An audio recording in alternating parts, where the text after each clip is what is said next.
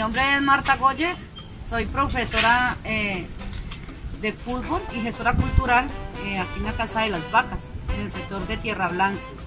Eh, hemos realizado una iniciativa de, hacer la huerta para tener más apoyo con la comunidad, una comunicación más asertiva y con los jóvenes, líderes del sector. Como pueden ver, tenemos una variedad de, de siembra, como es el tomate chonto, el ají, la bichuela, granadilla, sandía. Eh, tenemos, bueno, cosas que nos van a servir y nos las vamos a tener aquí a la mano para nuestra mesa. Para mí pues esto es un acto de amor por la vida y por mi comunidad.